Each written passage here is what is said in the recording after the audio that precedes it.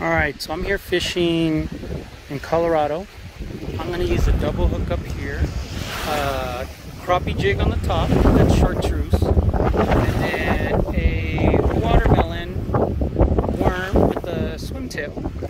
And then a little gremling wing. I'm using uh, Black Max Next Generation Rod and Reel Combo from Garcia.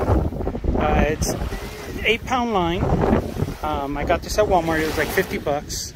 And so I'm to be casting out and drop shotting and see if we get lucky.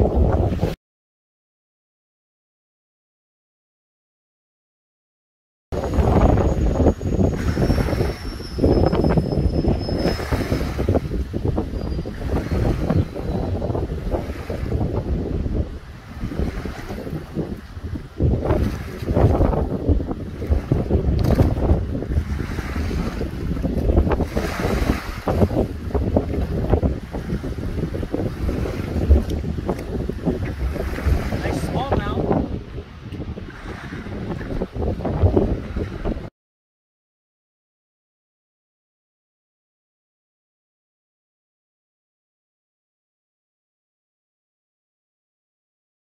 All right, so caught this about three pound smallmouth.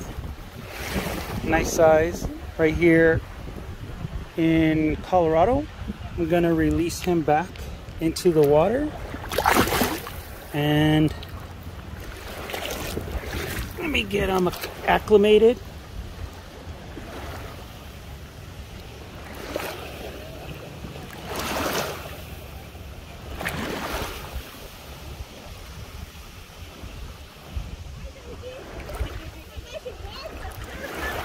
There he goes. Is he gone?